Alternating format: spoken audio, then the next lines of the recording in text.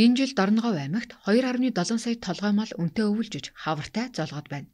Аймгийн засаг даргын захирамжийн дагуу мал амьтны гоц халдвар төвчний эрсдэл ихтэй зарим аймгаас Дорногов аймгийн нутагт мал амьтны шилжилт хөдөлгөөн хийх, отор нүүдэл зохион байгуулахыг өнгөрсөн оны 9 дугаар сарын 21-ээс 2022 оны 6 дугаар сарын 15-ны хүртэл хугацаагаар хориглоод байгаа юм.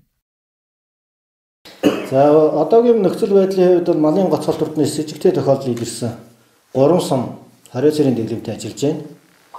За ер нь бол зарим төрлийн халдвар гоц халдвар төснөөс өрсөн сэргийлэх арга хэмжээ бол төлөвлөлтийн хувьд бууруулж явж байсан улсын бодлого байсан. А одоо бол төлөвлөлтийн хувьд энэ жил бид нар 7.4 сая толгой мал хамруулахын төлөвлөлтийн бодлого төсөл бас гаргаж өгсөн байгаа.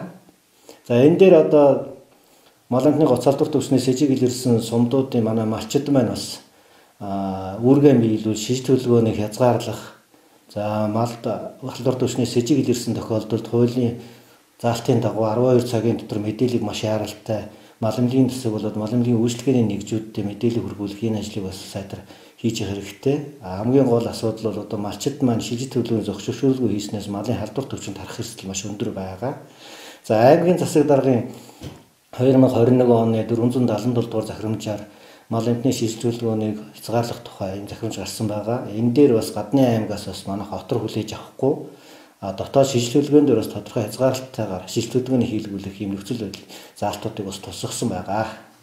Мал сүрэг тарган тавтай өвөлжөж хавартай залгаад байгаа ч орон нутагт гоц халдвар төвчнөөс урдчлан сэргийлэх шилжилт хөдөлгөөн хийхгүй байх талаар аймгийн мал эмнэлгийн газраас анхааруулж байна.